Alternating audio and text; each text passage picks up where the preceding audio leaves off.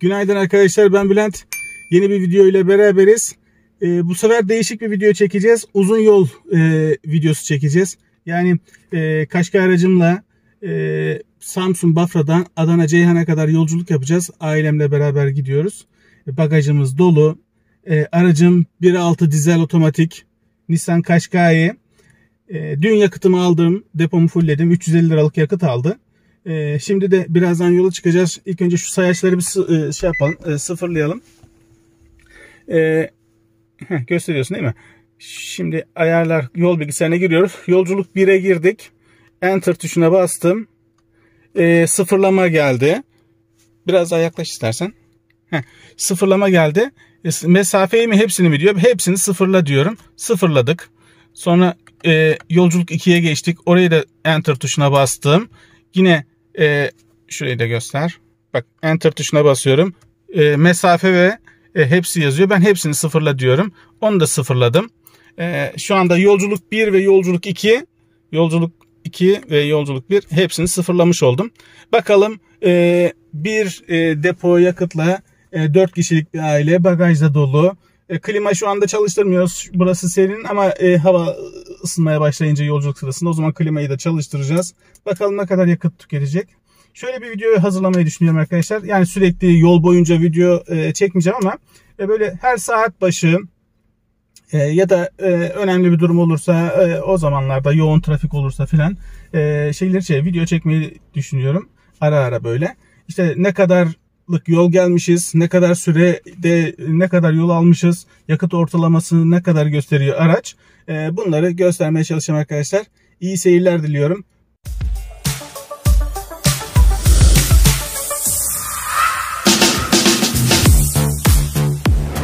dakikalık yoldayız. 25 kilometrelik yol gelmişiz. Ee, şu anda yakıt ortalaması olarak 4.2'yi gösteriyor. Ee, ama tabi şu anda daha Samsun dışına çıkmadım. Ee, hız sabitleyicisi 90'da. O yüzden şu anda 4.2'lerde. Ee, ama her zaman 90'la gitmeyeceğim tabi hızlanacağım. Ee, 100, 110, Otobana girdikten sonra 130'da sabitlerim. E, çünkü 90'da yol bitmiyor. E, bayağı uzun sürüyor. Adana Ceyhan'a kadar gideceğiz. Yaklaşık 10 saatlik bir yolculuk. Ara ara molalar vereceğiz. E, yine böyle e, ara ara video açıp e, yakıt tüketimini falan size söylerim arkadaşlar. Şimdilik şu anda durum böyle. Evet arkadaşlar Samsun merkeze geldim. Şu anda Atakum ilçesindeyim. Burada e, trafik radar uygulamalar oluyor görüyorsunuz 70 tabelası var. O yüzden ben hızımı 65'e sabitledim. Şu anda e, Samsun bu bölgeden çıkana kadar bu hızla gideceğim. E, hızım 65, ortalama hızım şu anda 67 olarak görünüyor. E, 37 dakikadır 32 dakikadır yoldaymışız. 37 kilometre yol gelmişiz. Şu anda ortalamamız 4.1'i gösteriyor. Bu arada e, şeyin şerit takip asistanının sesini duydunuz. Ben uzun yoldayken arkadaşlar şey, Eco modunu kapatıyorum. E, normal modda gidiyorum. E, start stop'u da kapattım. E, burada çok radar uygulaması oluyor. O yüzden fazla hızlı gitmeyeceğim. E, 65 ile gideceğim. Samsun'da yaşayanlar biliyorlar. Şu anda da kırmızıya yakalandık zaten. Sabit 60 ile 65 ile giderken normalde yakalanmıyorsun ama bu sefer yakalandık. E, bu şekilde arkadaşlar böyle ara ara e, videoyu açıp arabanın hem teknik özelliklerinden de bahsederim. E, işte normalde e, şeyde katalogda kitapçığında şehir içinde 5.3 e, uzun yolda 4 4.4 e, yakıt tükettiğini, karma yakıt tüketiminin de 4.6 olduğunu söylüyor. Kitapçıkta böyle yazıyor. E, tabii şu anda biz e, ailemle beraber yolculuk yapıyoruz. İşte eşim var, iki tane çocuğum var. Bagajda da e, şey var, bavulumuz var. E, yani dolu diyebiliriz araba için. E, bakalım ne kadarlık bir yakıt ortalaması tutturabileceğiz. Tabi ben hep böyle 65, 70, 80, 90'la gitmeyeceğim arkadaşlar. 110, 120'ye de e, sabitleyeceğim. Yani normal kendim yolculuk yaparken nasıl kullanıyorsam arabayı o şekilde kullanacağım. Yani arabaya az yakıt tükettireyim diye uğraşmayacağım yani onu demek istedim. Ee, bakalım ne kadarlık ee, şu anda şeyle menzil olarak da 897 kilometrelik yol gidebileceğimi söylüyor e, buradaki araçtaki yakıtla şu anda. Dün yakıtımı doldurmuştum. 350 liralık mazot aldım. E, şimdilik bu kadar arkadaşlar. Daha sonra yeniden açarız videoyu.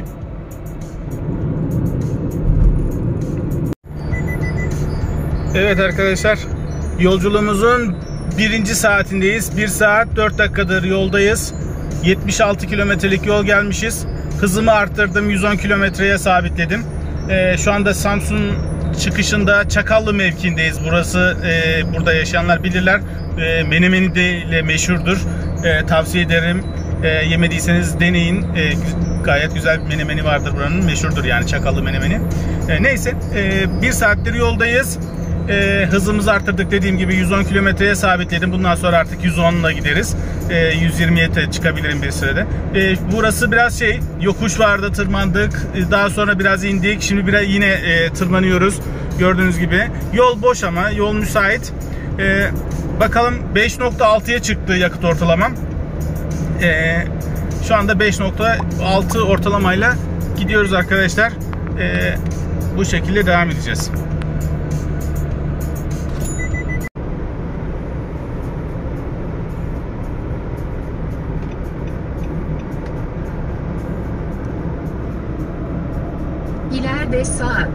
Dönünüz ve de 795 yolunu takip ediniz.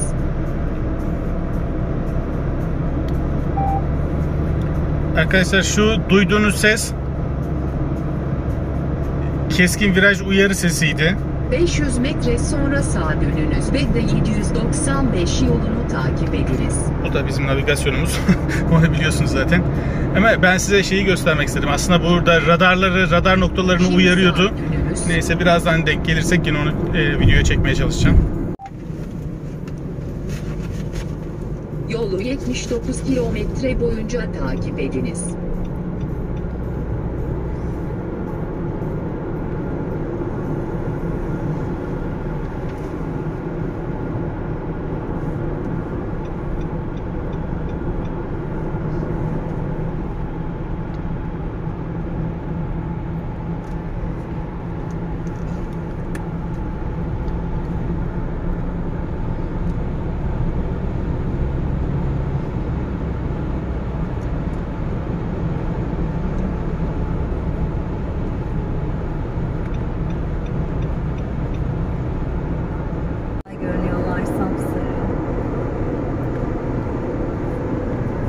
Ayçiçek tarlaları.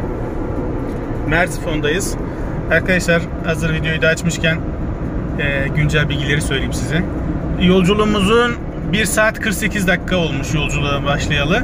150. kilometresindeyiz.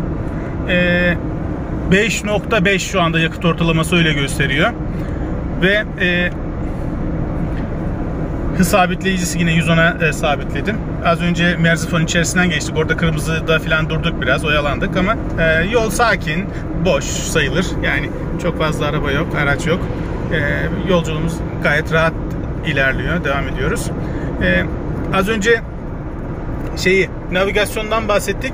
Biliyorsunuz bu araçlarda e, 2018 yılından sonra makyajlandı. Bu benim aracım 2016 model e, J11 kasa dedikleri ilk çıkan kasalardan e, 1.6 dizel otomatik e, 130 beygirlik e, platin premium paket. E, bu araçta işte özelliklerini birazdan anlatırım. E, 2018 yılından sonra makyajlandı bu Kaşkay. İşte şu direksiyon falan değişti. E, naviga buradaki multimedya değişti. E, şeyde navigasyon e, artık şeyde yeni gelenlerde yok. Onun yerine Android Auto ve Apple CarPlay özelliği var. Oradan e, navigasyona ulaşabiliyorsunuz. Çünkü çok soruyor arkadaşlar bunu. O yüzden onu söylemek istedim. Bizde ise bu e, araçlarda ise hayatım tutar mısın? şunu? Bizde ise e, navigasyon kartı var şurada. Ama şöyle bir sıkıntı var. Bu navigasyon kartımızı ben 2016 yılında aldım. 2016 yılından sonra hani sürekli yollar gülce, güncelleniyor. Yeni yollar yapılıyor. Köprüler yapılıyor mesela değil mi? Bunu bu şeyde kendi orijinal haritasında navigasyon kartında yüklü değildi. Bunu güncellemek gerekiyor. Bunu güncellemek için de bu kartı e, işte yeni bir güncel kart almak gerekiyor. Servis bunu çok e, yüksek fiyatlardan satıyor. O yüzden oradan almıyoruz. Hiçbirimiz de almamışızdır.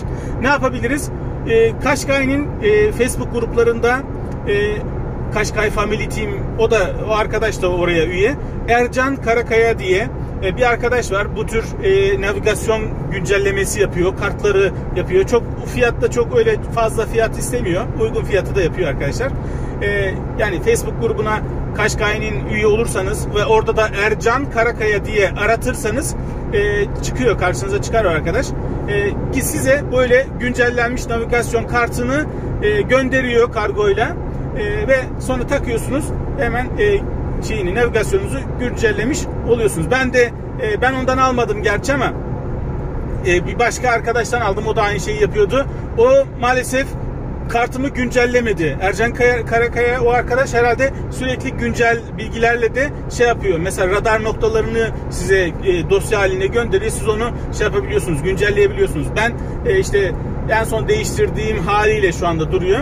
E, bu şeyde navigasyonun üzerinde kartın içerisinde şey var. Koyu noktaları var. Yani özel e, gezilmesi, görülmesi gereken yerleri şehir şehir yüklenmiş mesela. O yönden e, kısa yol olarak ona ulaşabiliyorsunuz. Bir de radar noktaları var. Yani e, işte şu andaki yol güzergahımızda karşımıza çıkacak olan radarları eğer daha önceden o noktalar e, o radar grubuna şey eklendiyse bu navigasyona ekliyorlar. O radara yaklaşınca seni bip sesiyle uyarıyor. Az önce o sesi duyduk. Ben videoya çekmeye çalıştım. E, ses o sırada şey de açıktı, klima da açıktı. Ses duyuldu mu, duyulmadı mı tam emin olamadım ama e, eğer yine ilerleyen şeyde e, yolumuzda böyle radar noktaları çıkarsa onu da yine videoya çekmeye çalışacağım. Size göstermeye çalışacağım arkadaşlar.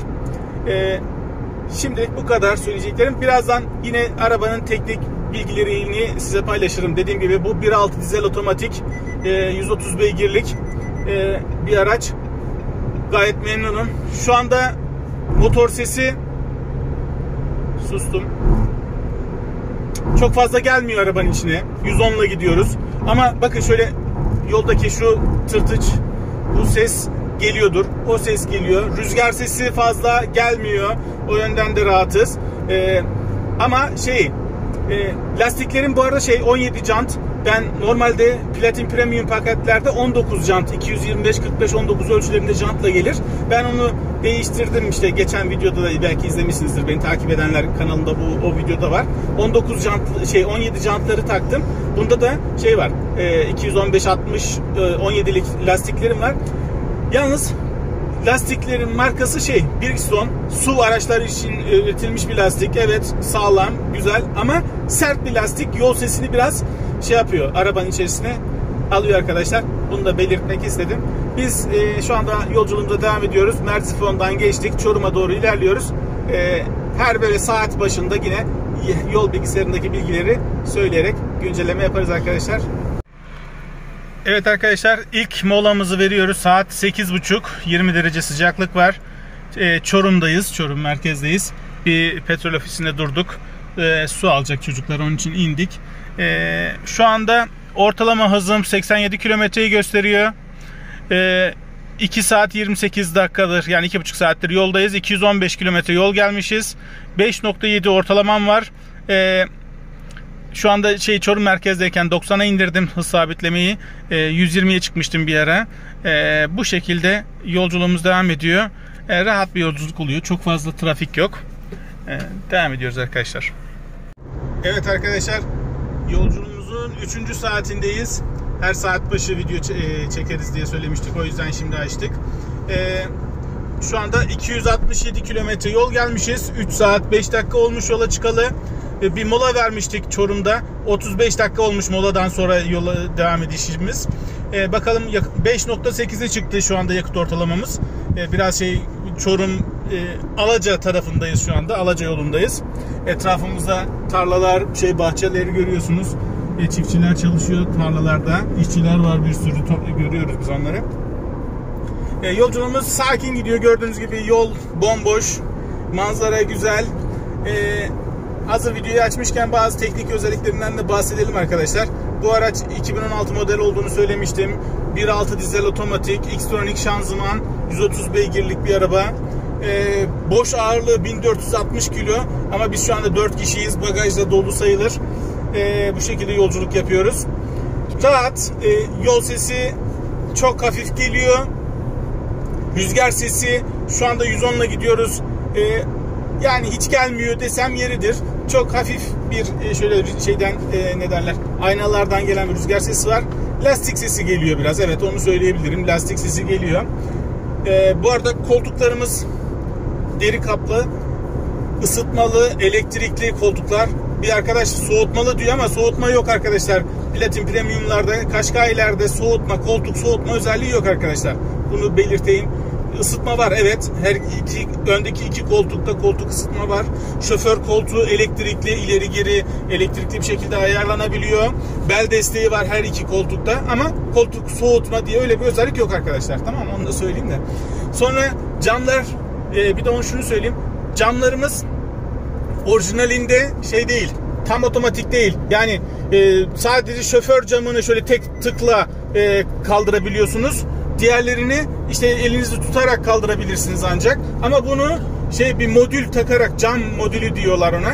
Cam modülü takarak şey yapabilirsiniz. Bütün camlarınızı tek tıkla kaldırılabilir hale getirebiliyorsunuz. Çok pahalı bir şey de değil. Ben ilk arabayı aldığımda onu taktırmıştım serviste. Ee, şimdi hem yani dışarıdayken de mesela e, arabaya gelmeden şey dışarıdan kumandanızla anahtarınızla şey yapabilirsiniz. Dış, aynalı şey camlarınızı kaldırabilirsiniz.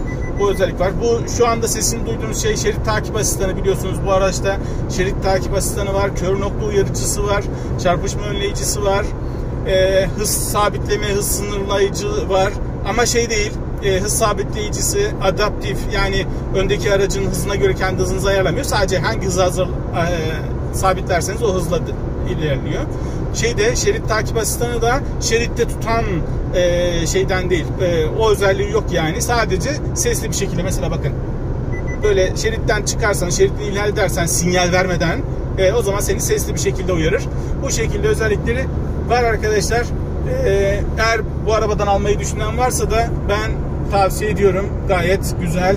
E, donanım olarak çok e, üst seviyede bir araba bu özelliklerdeki diğer markaların arabalarını almaya kalktığınız zaman fiyat farkı çok e, yükseliyor arkadaşlar. Ama bu Kaşkay'ın şuradaki gölü gösterebilirsin. Bak ne güzel, çok güzel bir göl var şuradan. Alaçadan geçerken kaçırdık mı? Neyse tamam önemli değil. Ee, şöyle e, işte yani gayet güzel bir arkadaşlar. Dolu bir araç. Platin Premium Pack. Ee, gayet güzel. Sizi tatmin edecek bir araçtır. Gücü de 130 beygirlik olduğunu söyledim. Çok rahat ilerliyor yolda. Süzülerek gidiyor.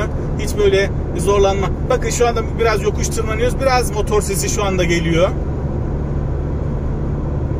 Sustum gelmiştir belki. Siz duyabilmişsinizdir belki. Yokuş tırmanırken evet biraz motor sesi e, yükseliyor doğal olarak. Araç kendini e, hız sabitleyicide çalıştığı için ona göre ayarladığı için. Ama normal düz bir yolda giderken motor sesi de fazla gelmiyor. Evet arkadaşlar bu şekilde bir sonraki saatte görüşmek üzere. Şimdilik böyle. Evet arkadaşlar yolculuğumuzun dördüncü saatindeyiz. Ee, 341 kilometre gelmişiz. Bakalım yakıt ortalaması ne kadar şu anda 5.8'i gösteriyor. Ee, şu anda Boğazlı, Boğazlıyan'dayız. Ee, Yozgat Boğazlıyan. Ee, gidiş geliş yani tek şeritli yola düştük.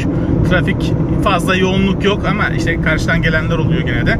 E, 120'ye sabitledim. 120 ile gidiyoruz. Rahat gidiyoruz. E, durum şu anda bu şekilde. Manzara güzel. E, evet. Arabamızda yine teknik özelliklerinden hazır videoyu açmışken bazı özelliklerinden yine bahsedelim. E, yağmur sensörümüz var. Far sensörümüz var. Otomatik yanan farlarımız var. Uzun far asistanı var. Ee, yine yorgunluk algılayıcı sistem var. Ee, diğer kör noktayı falan söylemiştim zaten. Ee, bu şekilde arkadaşlar. Aklıma geldikçe bazı özellikler yine böyle video açınca söylerim.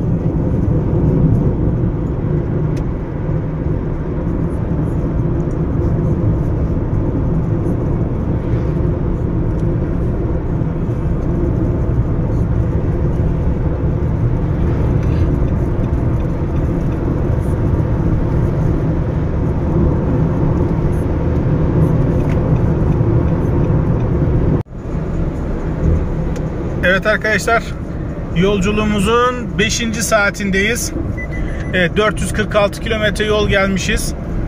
Ee, şimdi diğer sayaçlara bakayım şöyle biraz düzeltelim. Evet. Ee, 120 ile gidiyoruz. Hızımı 120'ye sabitledim. Uzun zamandır 120 ile gidiyorum. Ee, 89 ortalama hızım 89'u gösteriyor. Ee, bu 89 şey ilk arabayı hani ilk sıfırladık ya evden çıkışta.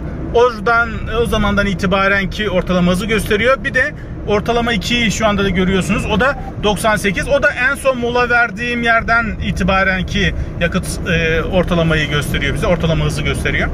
Daha sonra işte şeyi göster Heh, yakıt ortalamamız şu anda bir saniye navigasyon araya giriyor.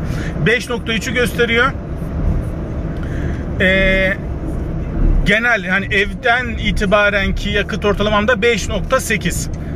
Şu anda bu şekilde ilerliyoruz arkadaşlar.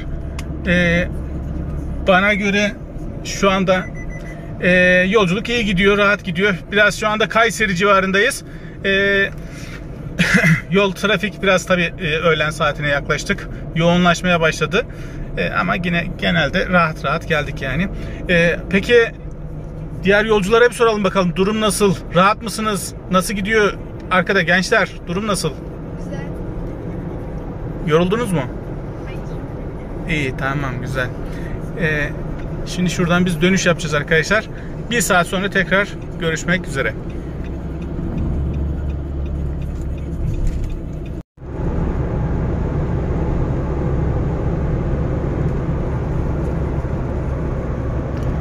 Evet arkadaşlar yolculuğumuzun 6 saat 40 dakika olmuş yola çıkalı. Tabi arada molalar verdik. 3 kere mola verdik.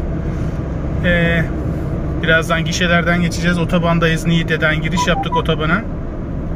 Şu anda o ses keskin viraj uyarı sesiydi. Ee, ortalama hızım şu anda 86. yakıt tüketimini göstereceğim. Şimdi birazdan şu yolu döneyim. 5.8 gösteriyor şu anda. Ee, Niğde'nin içerisinde şeyden Nevşehir'den geçtik. Otobana şu anda bağlandık. Bundan sonra otobanda gideceğiz Adana'ya Ceyhan'a kadar. Ee, şu anda ortalamamız 5.8 arkadaşlar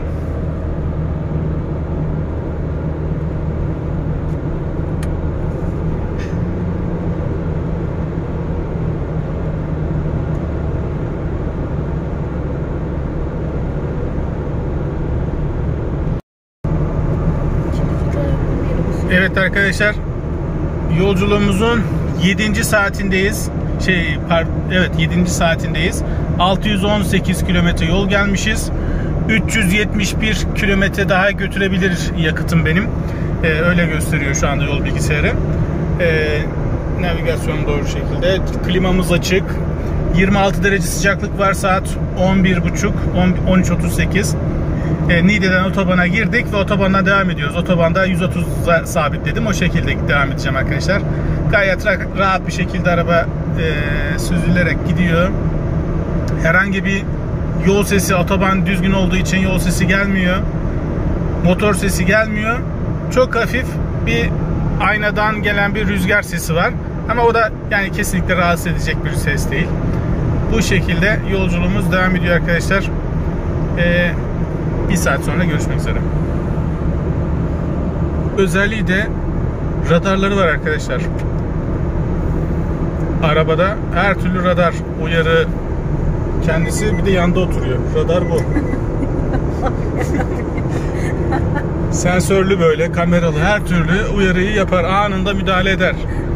Yani şeritten çıkamazsın. Öndeki arabaya çarpamazsın. Her türlü şey var. O yüzden ben şey full araba almıyorum. Daha lüks arabalardan almıyorum. Böyle yanındaki hatun her türlü şeyi önlemi alıyor benim için. Devam ediyoruz böyle. Yanımızdan Mercedesler geçiyor. Oh, biz 130'la gidiyoruz. O kaç? 140 100 falan gidiyordur herhalde. Şeritten çıkınca bak şöyle uyarıyor bizi. Evet burada biraz asfalt rengi değişti, koyulaştı. Herhalde yine asfalt biraz hafiften yol sesi gelmeye başladı lastiklerden bize. Evet. Evet, manzaramız da bu şekilde arkadaşlar. Yolculuğumuz devam ediyor. Adana Ceyhan'a kadar bu şekilde gideceğiz.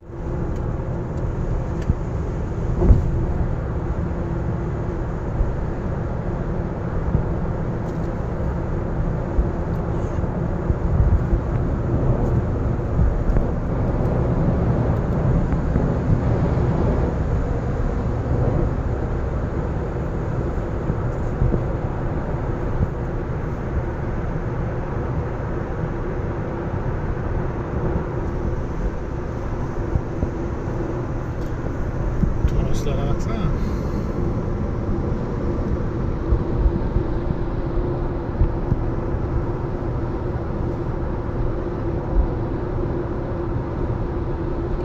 ...661 kilometre gelmişiz. 370 e, kilometre götürebilecek kadar daha yakıtımız var. Şeye Adana Ceyhan'a kaç? Şurada kaç yazıyor şimdi? 155. 155 kilometrede e, Adana Ceyhan'a kadar yolumuz kalmış.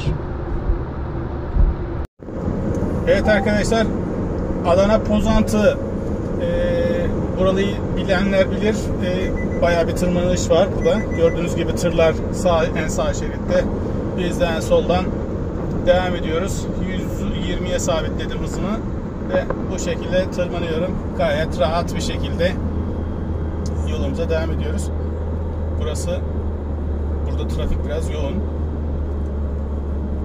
ortalamamız 5.4 şu anda Tabi tırmanıyoruz ya biraz daha artacaktır bu e, ortalama. Evet. Sen devam et.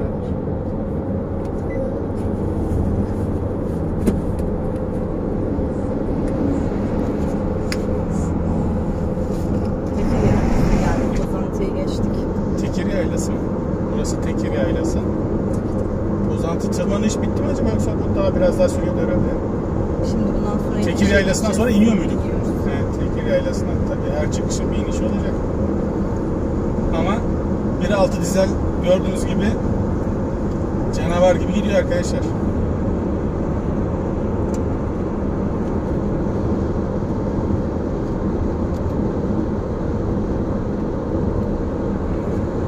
Şöyle orta şeride geçelim.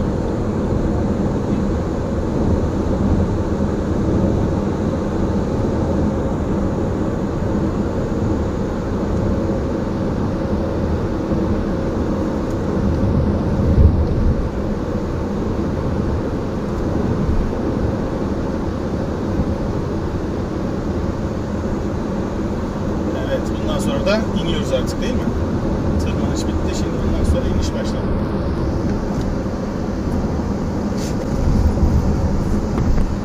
Çağdaş'cığım şöyle şeyleri etrafta gösterebilirsin. Tekir Yaylası. Sıcaktan yanınca buralara kaçıyormuş. Öyle değil mi? Evet.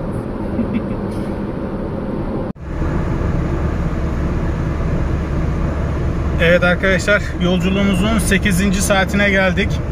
8 saattir yoldayız. 738 kilometre yol gelmişiz. Ee, ne kadar? 307 kilometre daha gidebiliriz diyor e, bu hızla devam edersek. Ee, Ceyhan'a da 77 kilometrelik yolumuz kalmış. Yani 738 kilometre yol geldik.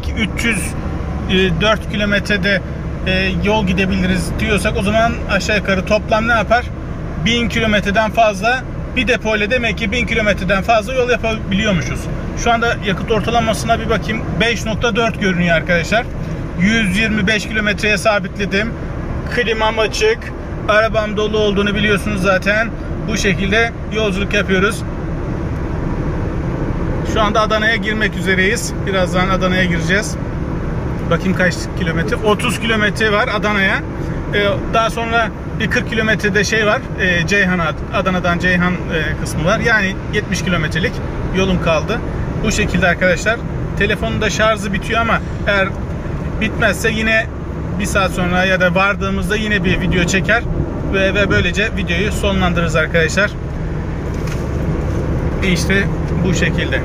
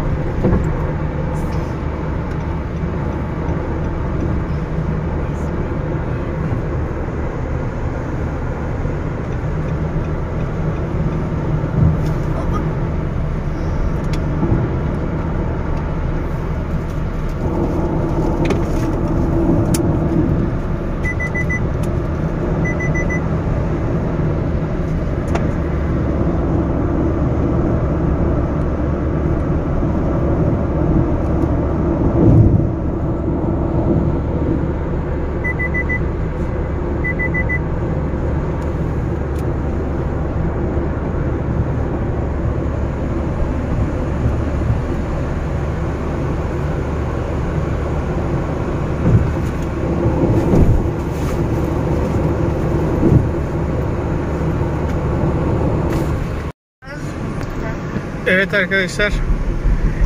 Ceyhan, Adana Ceyhan gişelerine geldik. Otobandan çıkıyorum şu anda. Yani eee, bakayım şu anda 5 kilometrelik daha yolum kalmış. 815 kilometre yol gelmişiz. 8 saat 42 dakika sürmüş. Eee, ve bakalım ne kadar 5.4 ortalamayla gelmişiz. Anlık tüketimim 4.9'a kadar düşmüş ama o şu 5.4 şey hani arabayla ilk Samsun'dan sıfırlar sıfırlayıp yola çıktığım andan itibaren ki ortalamayı gösteriyor. Yani 4 kişilik eee, bir aile için 1.6 motor için bence ideal bir yakıt ortalaması bu. Hiç böyle yavaş da gitmedik. 120, otobanda genellikle 130. Eee, bu şekilde devam ettik arkadaşlar. Şarjım da bitmek üzere o yüzden videoyu şimdi sonlandıracağım. Yakıtım da e, sonuna kadar geldi zaten. E, onu da daha sonra fullleyeceğim. İzlediğiniz için teşekkür ederim. Kanalıma abone olmayı unutmayın. Teşekkürler, iyi günler.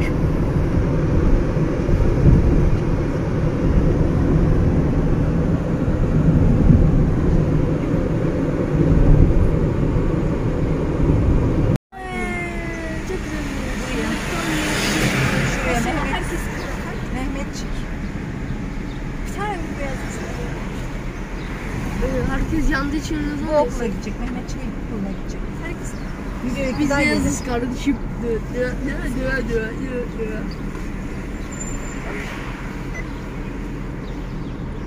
Yanıyor, Adana yanıyor. İşte yanmıyor aşkım. Ama gerçekten bu arada çok sıcak değil yani abartıyorsunuz ya. Değil mi 34 anne? derece. Abartıyorlar yani o kadar sıcak Gerçekten değil. abartıyorsunuz. Ee, Şu yani an, o ben kadar de, sıcak şu an değil. bence de o kadar sıcak değil. Gavur gibi yanıyor. Baba yarın normal ama yani o kadar sıcak değil. Ama sıcak değil. An değil. Anlarsın yani sıcak değil. Bahçeliler aslında da galiba. Hatırlıyor musunuz şurada bir tane bıcı bıcı yemiştik. Bıcı bıcı. Evet evet. Aa. Aa. Aa bana video çekiyor. Buranın yolları çok güzel böyle.